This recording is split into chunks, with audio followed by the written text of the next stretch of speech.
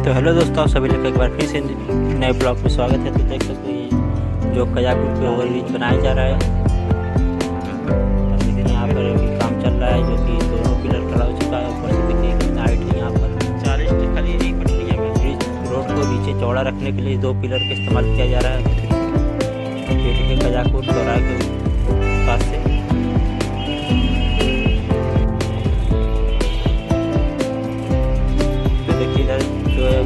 Office का भी काम यहाँ पर चल रहा है, जो कि अभी यहाँ पर डाला गया है।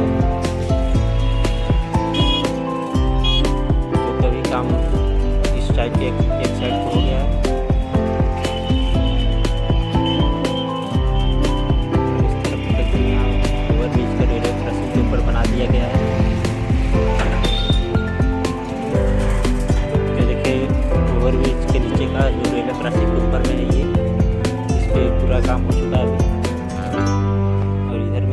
You.